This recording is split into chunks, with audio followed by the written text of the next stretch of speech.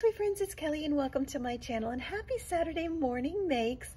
This is what I've been working on for the open collaboration and it's hosted by Jillian Norwood here on YouTube and she's so sweet and so kind. I'll link her channel below so you can check her out. She's amazingly talented and she invites us to share what we've been creating for the Saturday morning or maybe you made it earlier during the week.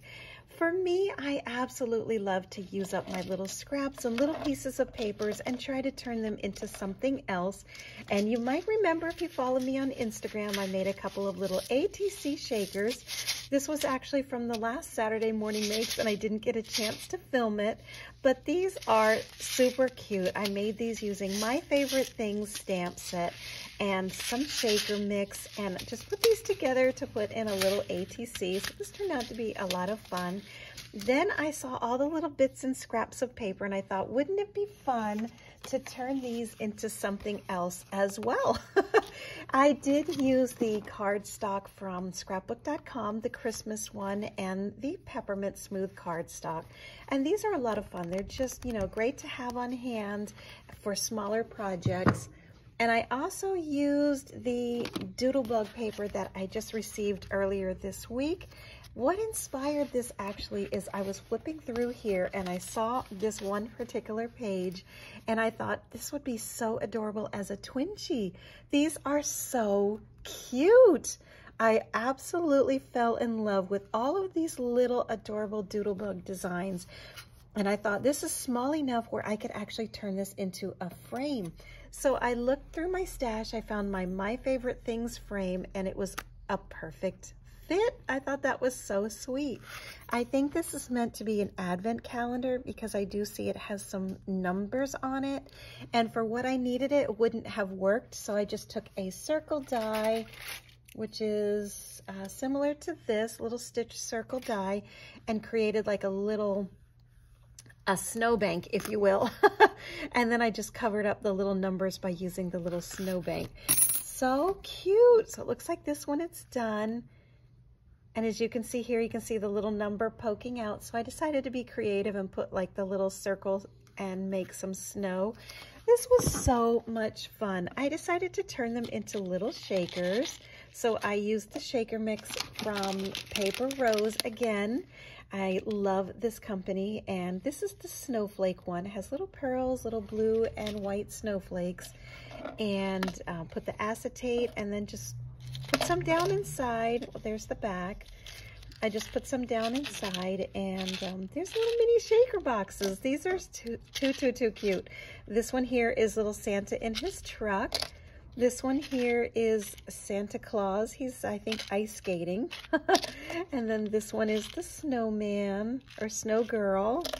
This one here is another snow person. He's a snowman. He has a top hat. And then this sweet little polar bear. So these were a lot of fun. These are almost like little Twinchies, but they're little shadow box Twinchies.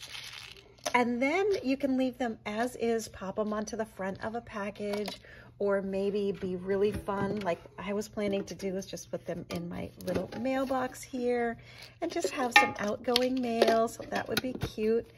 Or you can put them let me just grab this really quickly as a sample.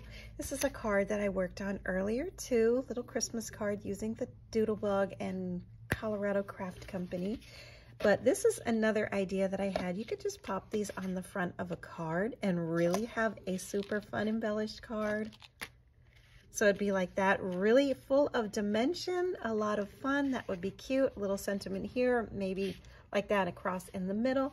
So many possibilities, but I just thought this was a lot of fun because I literally had these tiny little pieces of paper and I wanted to turn this into something. So this became this and it also became this. I had a snowflake die set and it is also from my favorite things and I decided to just cut out a bunch of the little snowflakes. I thought you can't go wrong. Use these snowflakes anywhere, somewhere, especially during the holiday card making time. And um, this is what I thought after I had all of these cut out. I said, you know, I'm going to make some card candy. There's got to be a way to use this as well as these. And there was, I decided to keep putting some more of the paper and pop it up on the back of the frame. So same thing, I just put some foam just like this all around the outside of it and just put it right on top of the designer paper. So very much like that. And I just turned this into some cute little card candy. So this, of course, you can leave it as is. You can have this on a card as well. And that's what my plan for this afternoon is, to put these on a little card. Let me move these out of the way just briefly. So those are there.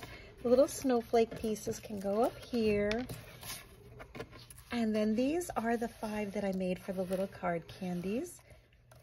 I made a little pink one. This one has almost like a teal color to it. And if you look really closely, you can see the sweet little doodlebug characters. Love that. Here's the peppermint stripes. This is the little snow village. And then these are just the little snowflakes. Same thing, I thought this would be really sweet to put on some cards, maybe even pop them up, something like that, a little sentiment. These were just little scraps of paper, and I actually turned them into something else because I didn't want to waste them. Here's another blue one, another blue one, here's a pink one. So this was a lot of fun. So my Saturday morning makes was taking something and creating something and just absolutely had so much fun. It took about an hour. I think the hardest part was getting this acetate to behave and put all of these together. So that is what I have been working on, a little little cards and little ATCs and little card candy. And I just, I had so much fun with this. Really, it's the colors. They're so bright and cheerful and it's just so whimsical. I love this paper pack. I love these sweet little critters, and these little faces are so funny. Santa doing his peace out, this little snowman sticking out his tongue, and this little sweet polar bear bringing gifts, and of course these creative little elves. We're doing the elf on the shelf with my three-year-old granddaughter, and she's been having an absolute blast with it. So it has been a lot of fun that is what I worked on today. This is my Saturday morning share with all of these little different bits and pieces using some sweet paper, using some adorable cardstock, a couple of dies, some shaker mix, and there you go. I hope this inspired you in some kind of way. I hope this brought you um, some creative ideas as well. And again, you know, if you see some little pieces of paper that you have left over, you might be able to turn it into something else. That is my share for this Saturday. Thanks so much for watching, my friends.